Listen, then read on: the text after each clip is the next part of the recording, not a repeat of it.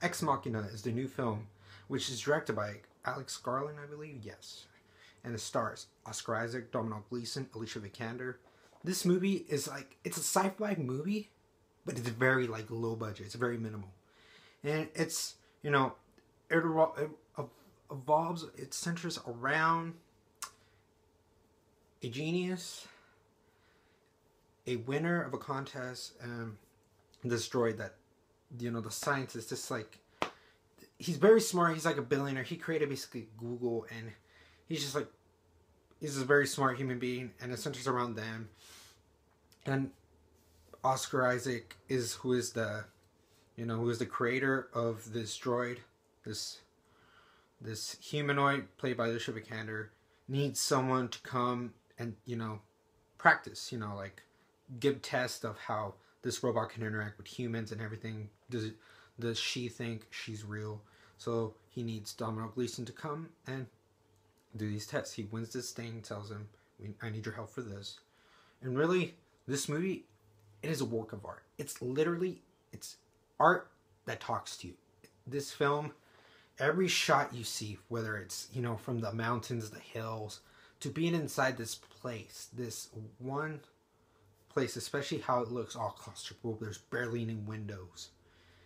It's just so beautiful, and that and the best compliment I can give it is just it is the best because it's so wonderful. I appreciate it. The director does an amazing job, just giving you this atmosphere that's like very peaceful, but very claustrophobic. Like you don't know if you're safe or if you should get the heck out of there.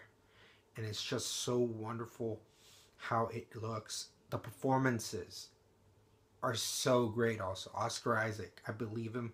He's this guy who's probably not too right in the head, but you love what he says. You love who he is. And Domhnall Gleeson, he kind of he doesn't play the same person in every movie. I just feel like he's playing a little bit what he's done already, but it works for the film. You know, he kind of he kind of we kind of are going through what he goes through. We're like he's our representative of what we want of questions for answers in this film. And yes, he he's very he's very he's a very good good person. He, you know, he stands up for what he believes if he needs to.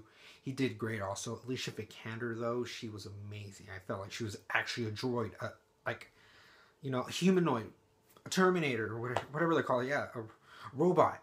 And she did a great job pretending to be like this, you know, droid who, you know, thinks she could start feeling emotions and, you know, she wants to, you know, just get to know more about life and everything. And I just felt her, for her performance, I felt every emotion she had.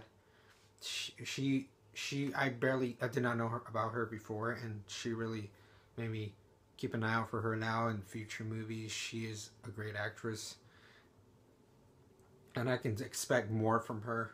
So yeah, these three performances all were amazing, and then I just love how you have so little, but you can tell so much, and I appreciate those types of films. And this movie looks like could be very boring for the average viewer that goes to see maybe a movie that just wanted to see how this one was. But for me, I appreciated the layers I had, the story, everything.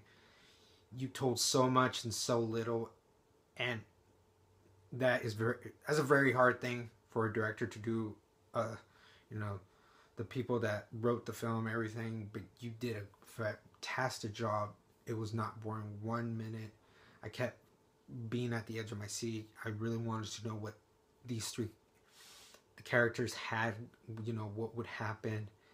There's all these turns I did not guess it was not cliche for me. It wasn't predictable. You know, it is like my top three favorite movies of 2015 for sure. I absolutely just was fascinated with this movie and this was sci-fi movie that you know didn't have to show too much to the spectacle just give you the right dose of just information that you can get i'm gonna give this movie an a plus this is really one of the better movies I've seen. Absolutely. Just adore it.